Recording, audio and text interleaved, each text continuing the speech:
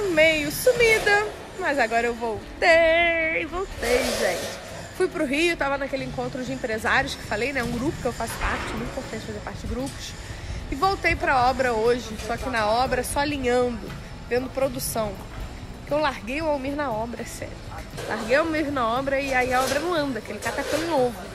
É tipo assim, você quer aprender a ser montador foda, montagem foda. Ó, meu cara. Vai fazer um negócio, um serviço assim, ó, que ninguém mais faz. Mas aí eu tenho que ficar atrás acelerando, acelera, acelera, acelera, acelera, acelera. E até tudo isso que eu falo na imersão de steel frame, né? Vai ter imersão de steel frame, esse mês turma tá lotada já. Tá lotada, né? E, mas na imersão de steel frame a gente fala isso. A gente fala sobre as técnicas de montagem, gestão, gerenciamento, cronograma, planejamento, né? Detalhes de execução, como é que você deixa tudo perfeito. Olha, gente, que coisa linda! E vai até lá em cima. E aí, o que, que eu fiz hoje, né, pra gente adiantar? O que, que eu fiz? Sentei lá com a engenharia e falei, vamos puxar logo o andaime daqui, que a gente vai adiantando. Qual tá sendo a estratégia para vocês saberem? O Almir, bendito seja, está deixando a estrutura perfeitamente alinhada para a gente chapear. E quando for fazer a colagem do EPS, não lixar quase nada, entendeu? Ser bem mais simples a execução do EIFES. Tá vendo? E falta um pedacinho ali embaixo que a gente não ia fazer, mas a gente conversou com o cliente hoje e a gente achou melhor fazer, porque senão vai ficar esquisito, né? Fachada toda com um sistema e aí o finalzinho com outro sistema não tem sentido. Então a gente tá fazendo isso. Ó. Misericórdia, Senhor, esse negócio aqui. Acontece? Eu tenho uma tabela de produtividade que até no foco eu coloco. Mas é aquela tabela que vai mudando, eu vou melhorando ela constantemente. Por quê? Dependendo da sua situação, a produtividade é uma ou outra. Por exemplo, em cima do andaime, cai produção. Quanto mais alto, cai produção. Acesso de material, cai produção. Superfície desnivelada, cai produção. Você vai caindo, caindo, caindo, caindo, caindo.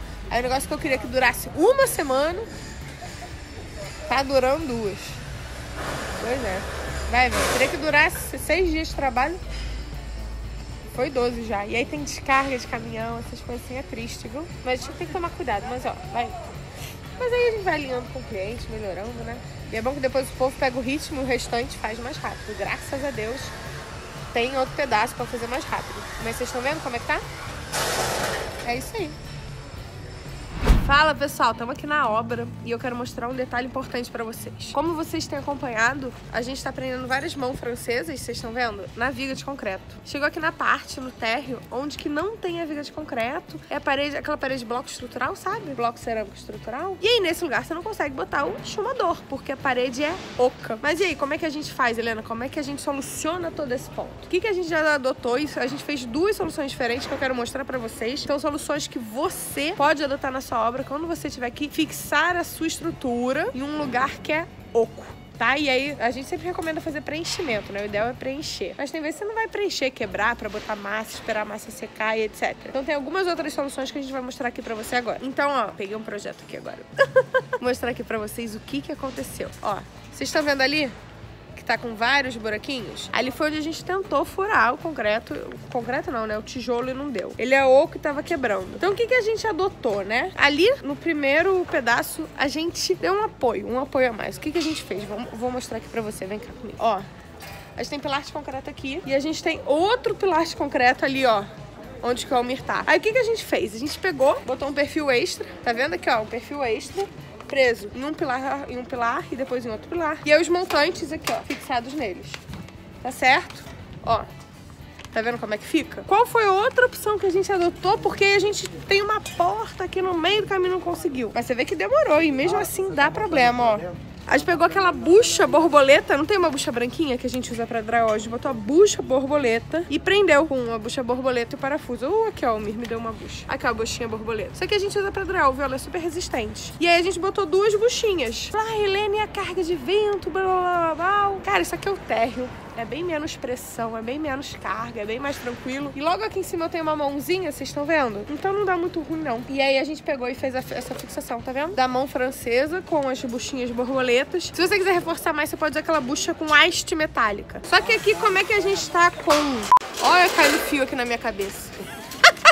Só que aqui, como a gente tá botando duas buchinhas, tá com perfil a cada 40, tá fixado em outros lugares, é tranquilo, mas que o suficiente. Importante vocês verem isso, né? Agora eu quero mostrar uma coisa pra vocês importante que aconteceu aqui na obra. Olha só, a gente botou um parafuso seis travado. E aí você vê como qualidade de parafuso é tudo, né? O que aconteceu esse? Vocês estão vendo que o parafuso perdeu arroz? Vocês verem como é que é, é diferente, viu? Cara, parafuso tem que ser estrutural. Parafuso no steel frame. Se o parafuso não for bom, perde a rosca, perde aperto, perde tudo, gente. Não dá certo. Tu não pode botar qualquer parafuso parafuso não, tem que tomar muito cuidado mesmo, viu? Tá vendo que mesmo a gente aqui se deu mal no parafuso. Nem lembro qual foi a marca não, viu? Já vou falando, acho vocês perderam. Não sei qual foi a marca não. Mas é isso aí. E aí tá a nossa estrutura, 100% alinhada. Dá tchau aí, Júlio.